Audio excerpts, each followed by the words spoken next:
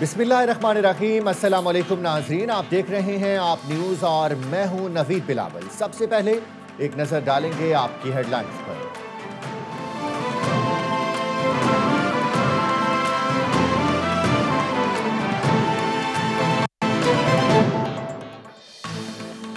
Paragon city scandal میں خواجہ برادران کے جسمانی ریمانڈ میں توسیع کی درخواست پر فیصلہ محفوظ۔ نیب نے احتساب عدالت کو بتایا، پیراگون سے ساد رفیق کو باسٹھ لاکھ روپے ٹرانسفر ہوئے۔ عام لوگوں کی زمین بیچ کر انہیں پیسے بھی نہیں دیے گئے۔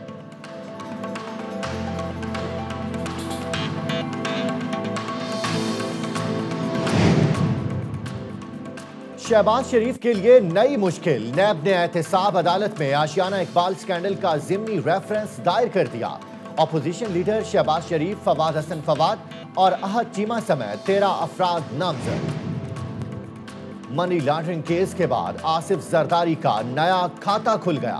وفاقی وزیر علی زیدی سابق صدر کی امریکہ میں جائیداد کی دستاویزات منظر عام پر لے آئے۔ آصف زرداری کے پراپرٹی ٹیکس کی کاپیاں ٹویٹر پر جاری کر دی گئیں۔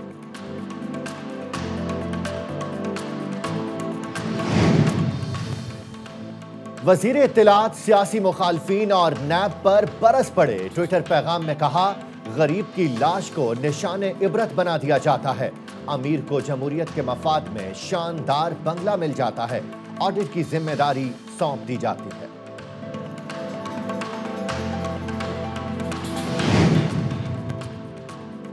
جیل میں قید محمد جاوید زندگی سے آزاد ہو گئے۔ پوسٹ مارٹم مکمل۔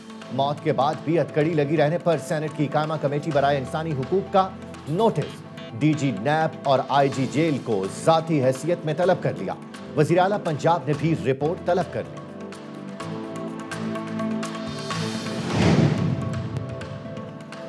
کشمیر میں ایسا ظلم کہ روح کام جائے۔ بھارتی فوج نے پلوامہ میں چھ نوجوان شہید کر دیے۔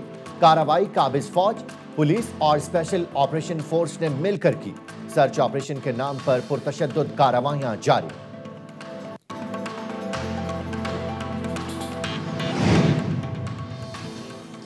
امریکی صدر اور کانگریس میں عارضی فنڈنگ کے بل پر معاملات طے نہ پا سکے۔ سپر پاور میں رواں سال کا تیسرا شٹ ڈاؤن۔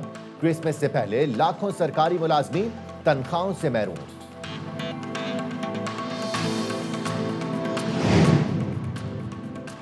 اور امریکی فوج کا شام سے انخلا ترکی نے داعش کے خلاف جنگ کی سربراہی کا اعلان کر دیا۔ ترک صدر طیب اردوان کہتے ہیں امریکہ کے پیچھے ہٹنے پر ترکی داعش کے خلاف جنگ کرے گا۔